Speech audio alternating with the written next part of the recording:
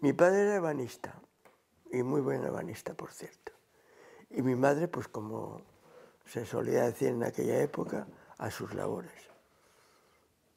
Eh, date cuenta que, claro, en aquella época, pues había que lavar a mano, éramos cuatro hijos que ensuciábamos, supongo que estabas todo el día en la calle, meterte en los charcos, en los charcos, charcos de agua, no en los otros charcos, eso vino después, pues era lo más habitual.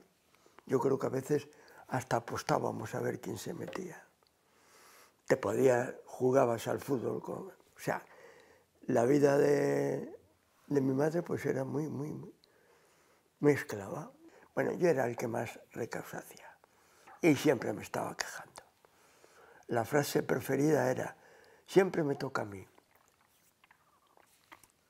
Pero sí, eso es lo que a veces, como la veíamos, porque eh, siempre tenía alguna dolencia, le dolía mucho la cabeza, las piernas también, pues la, acompañábamos a la plaza, o a lo mejor pelábamos patatas, no sé qué más.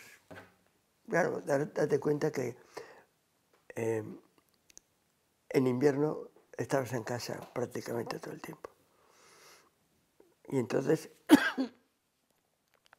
lo más grande que teníamos era la cocina, que era cocina, era donde comíamos. Porque mi padre tenía el taller en casa, en una de las habitaciones.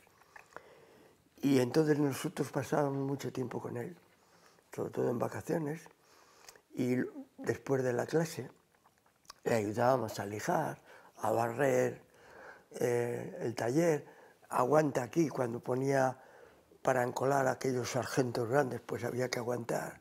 Y mi padre, con la amenaza de uno que había estado con él en la guerra, porque mi padre estuvo eh, donde le cogió.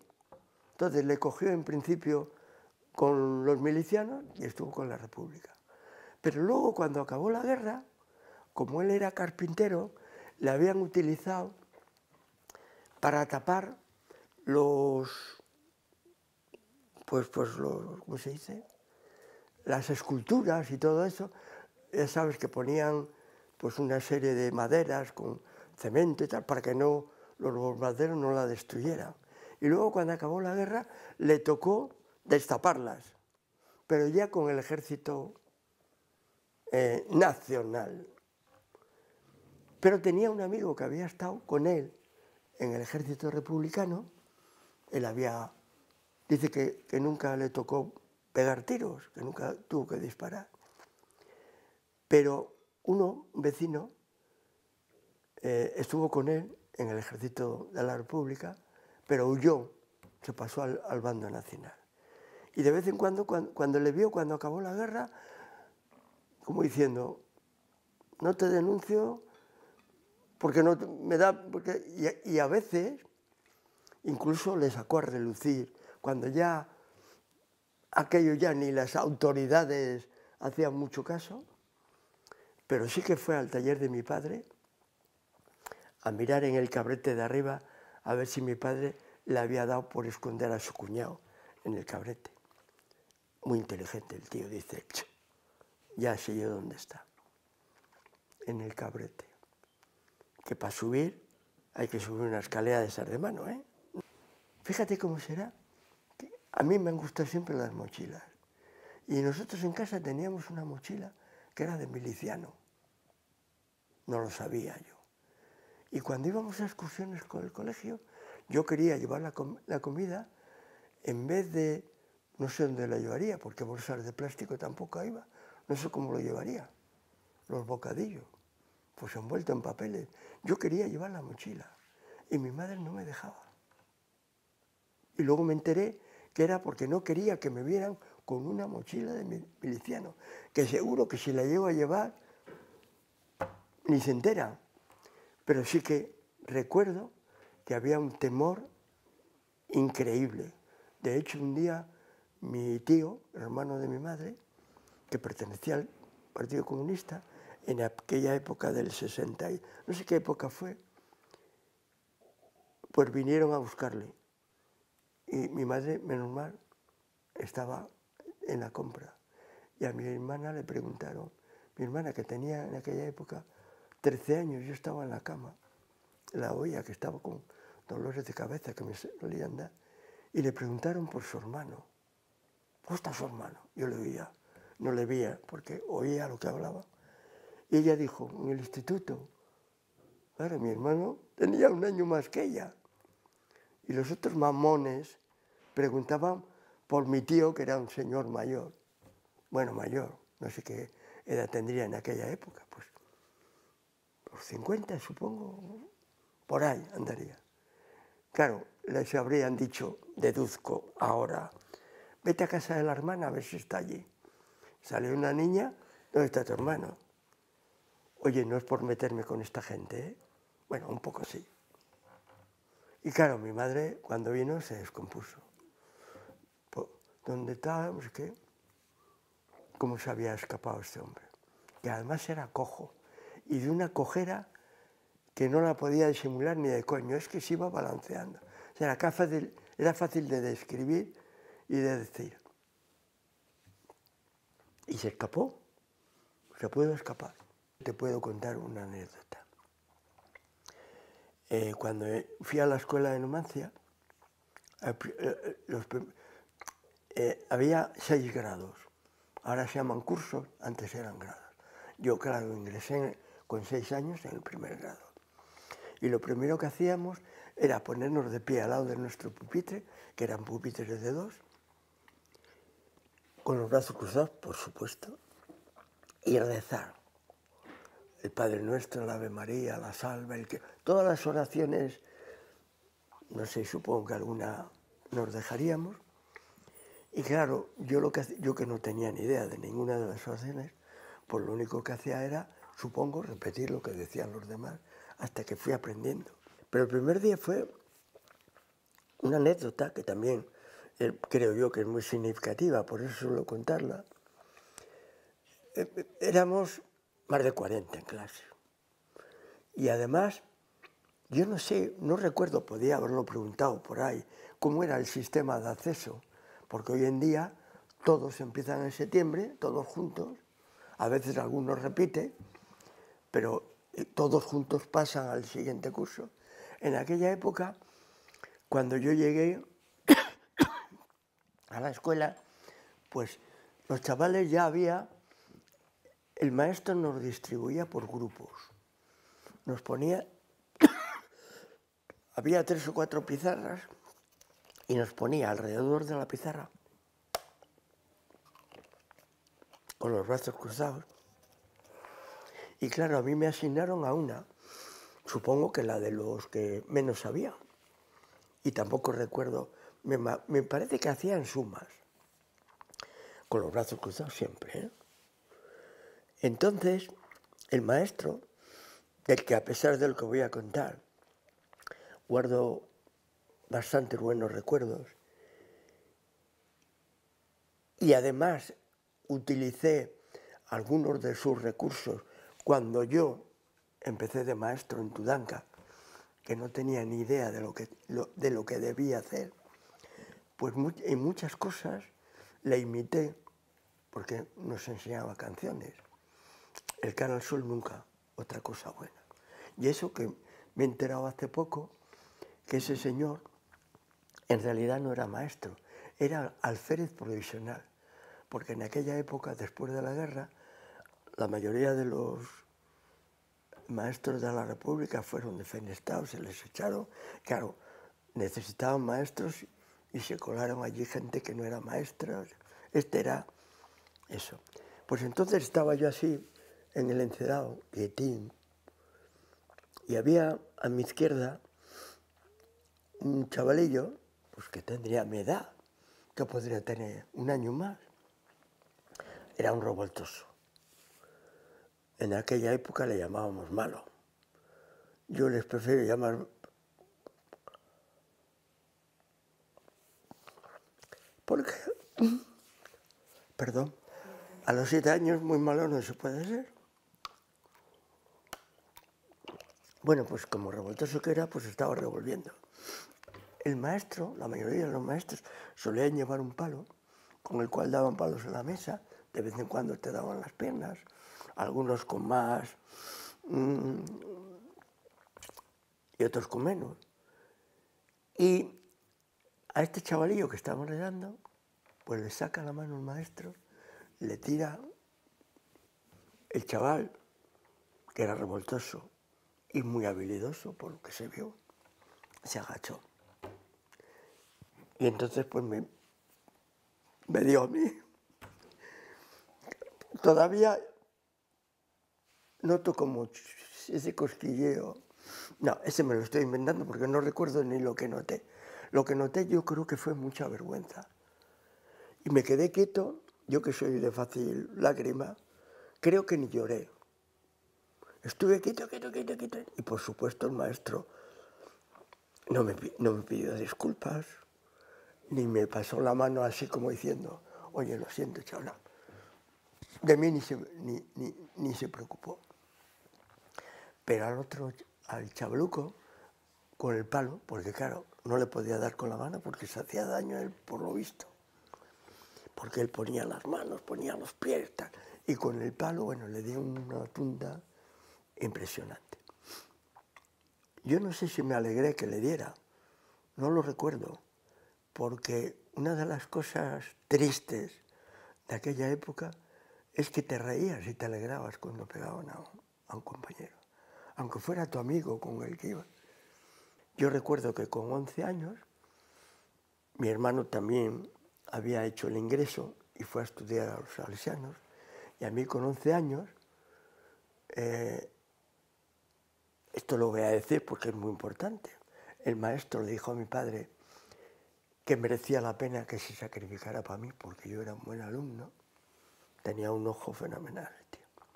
Entonces me preparé y recuerdo que de los que íbamos a la escuela, que rondaríamos los 50, solo tres chavales eh, hicimos el ingreso. Entonces nos preparaba el mismo maestro. Íbamos a su casa y nos preparábamos. El, el ingreso consistía en hacer una división de dos cifras y un dictado. Y luego te hacían un examen oral, te preguntaban pues súper de historia, de ríos, de nada. No recuerdo a nadie que hubiera suspendido, porque en realidad lo que aprobabas era un ingreso, donde tenías que estudiar luego al bachiller. Entonces yo aprobé el ingreso a los 11 años y entré en el Instituto Santa Clara. Aprobé para ir a la revalida, la saqué. Y luego para ingresar en magisterio, pues había que hacer un examen de ingreso también. Un, un examen que también tampoco recuerdo a nadie que le suspendiera.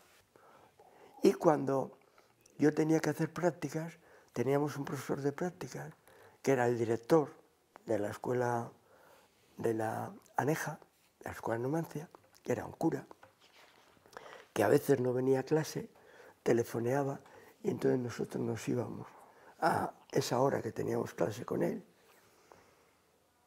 que la asignatura se llamaba prácticas de enseñanza, pero también él nos daba caligrafía y trabajos manuales. Ojo, ¿eh? Caligrafía y trabajos manuales. Lo de trabajos manuales podía ser bueno si no fuera porque lo único que hacíamos era pues trabajos con cartulinas. Entonces ibas a la escuela y te asignaban. Entonces ibas tres o cuatro a un grado. Yo recuerdo haber ido a, con maestros con los que yo había estado, con los que me habían dado clase a mí. Todavía quedaban dos de los que me habían dado clase a mí. Y a veces el maestro nos decía, oye, pues explica tú la lección.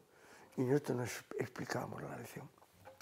El primer destino fue Tudanca, un pueblo precioso. Pues allí que me mandan a mí. Allí fui con un maletón impresionante, como si me fuera... Tuve que ir en tren, luego en autobús de línea, eh, luego andando. El autobús me dejaba arriba, en la lastra, y luego tenía que bajar andando dos kilómetros, que yo como no conocía el atajo, fui por la carretera, llegué allí, estaban todos segando, hasta los niños, me acogieron en la pensión, que era el bar, y allí pasé hasta el mes de abril, porque aquella eh, escuela eh, la tenía en propiedad un chaval que estaba, un compañero que estaba haciendo la mini, se reincorporó en abril y entonces me desplazó a mí. Y mi experiencia allí, pues fue bonita porque tuve contacto con niños que además,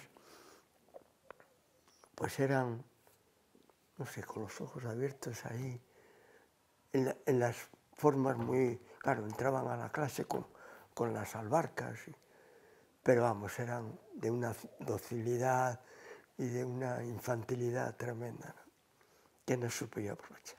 Como había pocos niños, eh, se eh, eh, podíamos admitir a niños de 5 años que no tenían la obligación de ir a la escuela, pero pagaban. Te pagaban, me parece que eran 50 pesetas al mes. Bueno, no sé, a lo mejor es mucho. No lo sé, pero pagaban, cosa que por supuesto, seguro que estaba prohibida en la ley, pero te lo permitían. Ellos mismos te lo decían, el alcalde, el inspector, el que fuera. Entonces, allí me di cuenta de que yo no tenía ni idea de lo que, tenía, de lo que debía hacer. Yo no sabía cómo colocar a los niños, se colocaron como ellos quisieron, que supongo que es como estaba en el curso anterior. Ni sabía, ni siquiera tenía un método para enseñarles a leer o para enseñarles cuentas. Entonces, ¿qué hacía?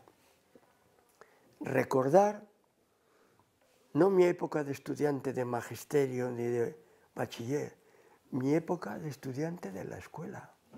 Yo recuerdo que el primer contacto que tuve con la gente, vino un señor a la escuela con una vara de avellana. Me traía la vara de avellano para, no recuerdo qué palabra utilizó, digamos domesticar, no creo que, que fuera una palabra tan... algo, para que me hiciera respetar, porque eso era una otra máxima, el hacerte respetar es una máxima que todavía hoy en día se, se repite. Tienes que hacerte respetar. Entonces, a mí se me ocurrió decirle que la vara era para las vacas tudancas, pero no para los niños. Una ocurrencia mía. No sé por qué. Seguro que, que me cabreó que el hombre viniera allí. No sé si me cabreó que viniera a darme clases de lo que tenía que hacer o me cabreó que fuera tan... No sé por qué. Pero yo le salté eso. Y luego el primer regalo que obtuve fue porque uno, un señor le dijo a otro, ¿por qué no le regalas un litro de leche para que sepa lo que es leche buena tal? Claro, la leche tudanca es, es más, es de un espesor menos líquida que, porque las tudancas dan poca leche. De hecho, me regaló, claro, se vio obligado a regalarme una botella de leche, porque el otro le dice, ¿cómo no la regala? Y cuando llegué a casa, no caía la leche, se había hecho un tapo de la nata impresionante. Pero luego ellos querían manipular. De hecho, eh, los maestros en aquella época y luego durante unos cuantos años más, yo creo que hasta que vino la democracia, se decía que ganas menos que un maestro escuela, no, o pasas más tal, ¿no? Los sueldos eran muy bajos. Pero el mismo ministerio nos permitía dar una especie de clase particular en, la misma, en el mismo aula. Que llamaban permanencias. Entonces, el ministerio te daba unas becas, me parece que eran cuatro becas, que tú tenías que distribuir entre los alumnos, y el resto que, tenía, que quería ir a permanencias, que era cuando acababa la clase de 5 a 6, pues tenía que pagar las 50 pesetas. Entonces el alcalde convoca una reunión en la, en la escuela con los, padres y las madres. Bueno, los padres, las madres no aparecían por allí, para nada. cosa rara, porque normalmente luego eran las madres las que iban. Y entonces ya el alcalde y el cacique del pueblo, que tenía mucho dinero, se encargaron de decir que esas cuatro becas, como todos allí eran igual de pobres, no igual de ricos, igual de pobres, pues que se repartieran entre todos. Yo todavía no tenía ni idea, pero ni tampoco de cómo era un pueblo, ni de cómo funcionaba. ¿eh? Me sonó mal aquello, aunque lo admití, pero era mentira. Allí había gente necesitada y había otros, bueno, muy pocos, que eran los dueños del pueblo. Pero vamos, que te imponían. Entonces, mm, no sé cómo decirte, te manejaban y te decían cosas, ¿no? A veces se metían hasta como vestía. Yo como no, no llevaba albarcas porque no sabía caminar con ellas, además se me ocurrió comprar unos chanclos para el pueblo, me pegaba unos patinazos que te... Pues se metían en cosas de esas, o te decían, por ejemplo, eh, una vez que estaba esperando al autobús de línea para que me llevara hasta Pesués a coger el tren, estaba allí hablando en la tienda y subí a comprar unas tortas de pan, pues por llevar a casa algo, al Santander. Y me dice, qué bien viven los maestros. Bueno, me empezó a hablar de lo bien que vivíamos los maestros. Yo tenía que haber sido maestro, decía. Y me dijo, porque lo, lo, mínimo, por lo menos, o como dijo, igual gana 3.000 pesetas al mes. Entonces yo que ganaba 5.000, digo, joder, pues si le digo a este tío que gana 5.000, pues va a decir, claro, para mí 5.000 no era tanto, porque yo en el pueblo me pagaba 90 pesetas al día. Casi, entre los viajes y tal, casi se me iban las 5.000. Pero claro, para ellos, luego, luego me di cuenta, no en ese momento, 3.000 pesetas era mucho, porque ellos no necesitaban comprar pan, porque lo hacía, la leche la tenían, los huevos lo tenían, la carne de oveja la tenían, a veces algún filete de carne tudanga, eh, alguna cebolla, alguna patata. Claro, no tenían necesidad de manejar dinero.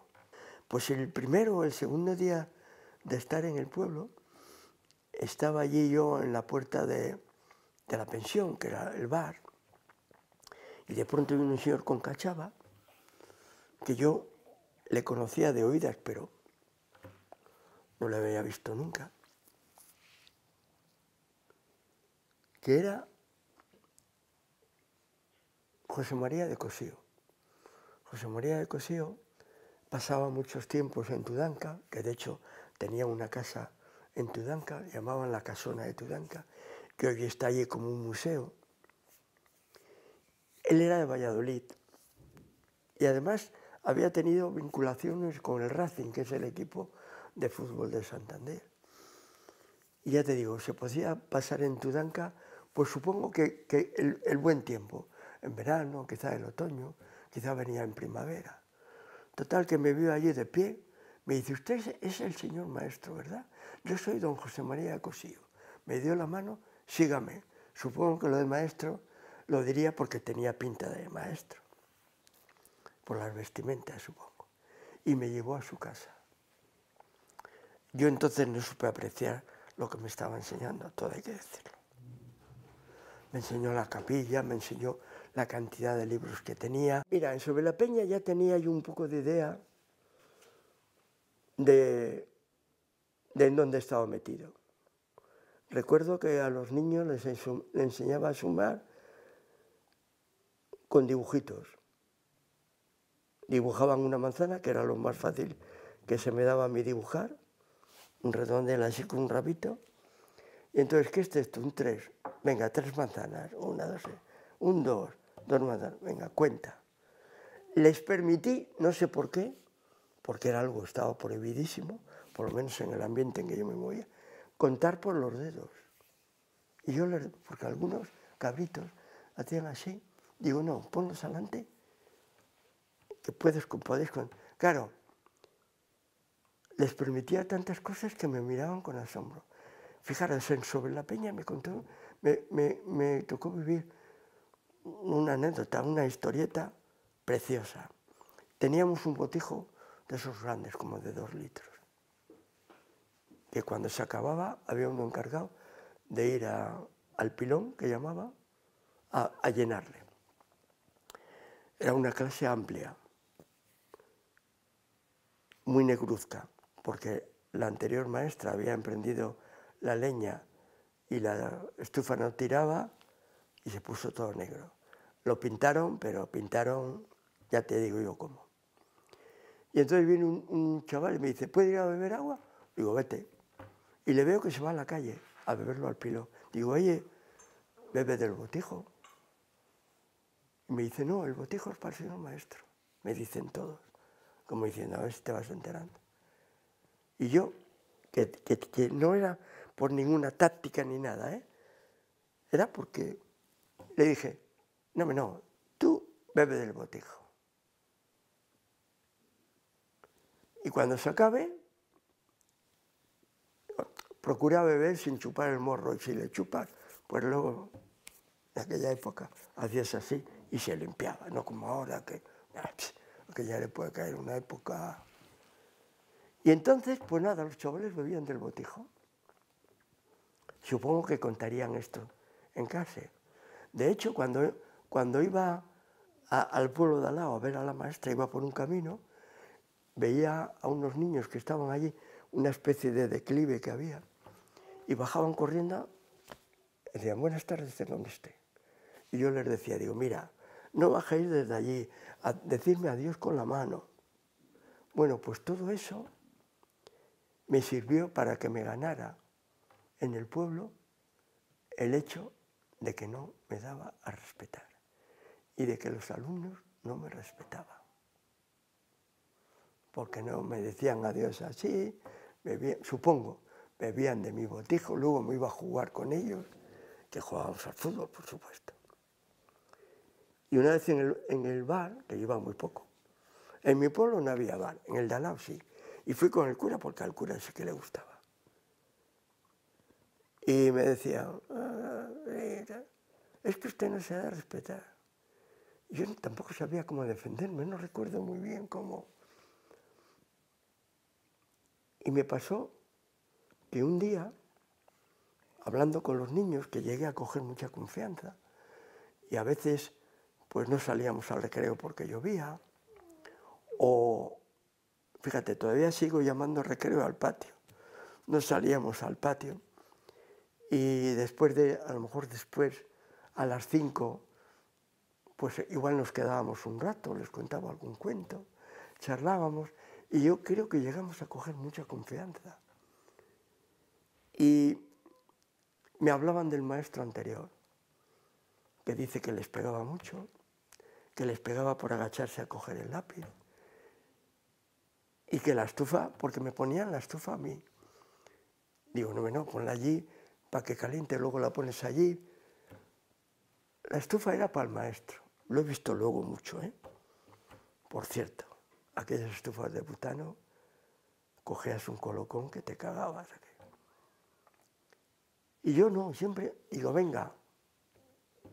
¿Y sabes lo que me contaron? Aparte de las cosas que le hacía el maestro, que le pegaban, que le meaban el botijo. Cuando les mandaba a rellenar el botijo, le rellenaban puede que con agua también. Y le meaban el botijo, de lo cual yo me libré. Quizá porque a mí sí me respetaba, o quizá porque del botijo bebían ellos. No lo sé. Eso, si algún día me los echo a la cara, les preguntaré. Pero mira, eso lo que utilicé yo para decir, mira qué respeto le tenía. Pues después de Sobre la Peña, eh, me destinan a acabárselo. Eh, que en aquella época todavía no tenía, o sea, no habían inaugurado el Parque de la Naturaleza. Sencillamente era una mina, una mina de hierro, y me vamos, me, me, corresponde ir allí y estoy tres años. Y entonces en Cabárceno se puede decir que ya tengo yo un poco más de idea de dónde me he metido, de qué es dar, y me organizo mejor. ¿Eh? Tengo niños desde 5 hasta 14 años, de todas las edades, por lo tanto de todos los niveles, pero me organizo, pues los mayores me ayudan con los pequeños, a veces hago, hacemos tareas que son comunes a todos, a las 5 salía de acabárselo para casa. Entonces siempre quieres acercarte. Y tenía la posibilidad de optar a una plaza de educación física en un colegio público y, y bueno, pedí y la obtuve. Y me vine a Muriedas, al Pedro Velarde, donde estuve 15 días dando educación física, que es de donde más alumnos me veo luego por la calle. Pero a mí la educación física no me llenaba, me satisfecho el hecho de poder vivir en Santander, venía a comer y tal, ¿no? Pero vamos, yo echaba de menos pues estar en un aula y manduquear a, a la gente y tal. O sea, la educación física, aunque después de pasado la recuerdo pues con cariño, ¿no? Porque pues por lo que veo hice muchos amigos, eh, participábamos en, en, actividades deportivas fuera, fuera los sábados por la mañana, incluso a veces por la tarde, incluso algún domingo por la mañana, pues participábamos en campeonatos de fútbol, de fútbol, de atletismo, hacíamos de todo. Recuerdo una vez que, lo voy a contar de lo que me acuerdo, no voy a ser muy... Eh, en Magisterio siempre eh, nos habíamos quejado de que los sueldos eran muy bajos en comparación con otra gente del mismo estatus, digamos. Entonces hubo una época en que se subía el sueldo de los funcionarios por categorías. Categoría A, B, no sé qué, estábamos distribuidos así. Pero en magisterio no se subió como nos correspondía. Yo, cuando hablaba con los compañeros, lo atribuía a que, claro, el cuerpo de magisterios posiblemente fuera el más numeroso de todo eso, ¿no? Y entonces hubo huelgas, ya había sindicatos, ya había gente que... Y yo recuerdo que cuando estaba en el Pedro Velarde, la directora era una señora muy, muy reivindicativa, y allí hacíamos huelga. Me imagino que muchos arrastrados por los demás. Y recuerdo, pues que te contaban que en Madrid, en Barcelona, en Sevilla, en Valencia, estaba casi todo el mundo de huelga y había, aquí había poca gente de huelga, como en otras. Entonces recuerdo anécdotas, por ejemplo, como yo daba educación física y había días, había horas de las clases, porque venía antes, venía a las ocho y media, que me podía ir antes, pues me mandaba que sirviera de enlace donde se reunían los huelguistas cuando iba a una reunión de uno que habían nombrado coordinador de, todos los, los maestros huelguistas de Cantabria, que curiosamente era de AMPE, no, yo creo que en aquella época AMPE no existía como, como sindicato. Entonces ibas donde él le preguntabas, oh, la cosa va mal, porque, pero tú, le preguntaban, ¿tú dónde llamas? Porque hablaba por teléfono con gente. Pues se llamaba a Palencia, a Burgos, Segovia, y hablaba de estas ciudades. Yo le dije, digo, ¿no se te ha ocurrido llamar a Barcelona, a Madrid, a Sevilla, a Valencia? O por lo menos llamar a todos, ¿no? Entonces, claro, en Palencia había poco seguimiento, según él pues parece como que había una lucha adentro como para desanimarnos. De hecho, una vez nos llegaron a decir que tuviéramos cuidado, que iba a venir la Guardia Civil a vernos. Y sí que vino a vernos, pero no hubo mucho problemas. Pero sí que hubo un movimiento dentro de eso Bueno, total que al final, supongo que por el movimiento del resto de los maestros, conseguimos una subida, pero bueno, estupenda. Pero aún no nos habían equiparado a lo que nos correspondía por nuestra categoría dentro del funcionario. No ha sido hasta ya eh, pasados los 80 cuando creo recordar que nos han metido ya. Pero claro, otras huelgas por otra cosa ni se nos ocurría. Había un miedo. En Muriedas empecé eh, a dar educación de adultos, porque después del horario escolar eh, entre una profesora y yo teníamos un, grupito de personas mayores que querían sacar el graduado escolar. Yo no sé si en esa época todavía, no, ya era el grado escolar. Y entonces nosotros les preparábamos y luego se presentaban a una prueba. ¿eh? Sea, en realidad las aulas de adultos funcionaban con el fin de que la gente obtuviera un, un certificado que en su época a lo mejor mereció tenerlo, pero esas cosas no se usaban. Luego ya, eh, por suerte, la educación de adultos ha cambiado en su concepción, ¿no? Y tiene otras, otras finalidades y otros objetivos. Y me vine aquí, donde he estado pues otros 15 años, creo. Y, y muy bien, muy bien estupendamente. Esto es como mi casa. ¿eh? Y además, con la gente mayor, aparte de que, eh, claro, los niños van a la escuela porque no les queda otra. Pero la gente mayor, salvo algunos que vienen porque quieren, necesitan un título, pues la mayoría viene porque quieren venir, porque echan de menos aprender, echan de menos la relación con la gente incluso hay gente, sobre todo mujeres, pues que no han tenido una experiencia escolar. A lo mejor han ido dos años a la escuela o tres o ninguno, porque se han tenido que quedar en casa ayudando, que eran muchos hermanos o tal. Y es muy gratificante, porque claro, la gente mayor te está dando las gracias a cada momento. Parece, a veces le tienes que decir, oye, que mira, que a mí me pagan por venir aquí y entreteneros y tal, porque están... ¿eh? Y claro, lo mismo, les ves por la calle, es una gozada. Es como un sobresueldo, mal comparado, claro. Pues la mayoría veníamos aquí con el afán, con el interés de que nos gustaba la educación de adultos, ¿no? Y entonces siempre estábamos con, ocurriéndonos cosas, habíamos, hablábamos mucho con los alumnos, eran personas mayores, para que también eh, pues colaboraran y incluso eh, tuvimos algún alumno que daba, había uno que daba un taller de, de marquetería a los compañeros, él sabía marquetería, pues le daba marquetería.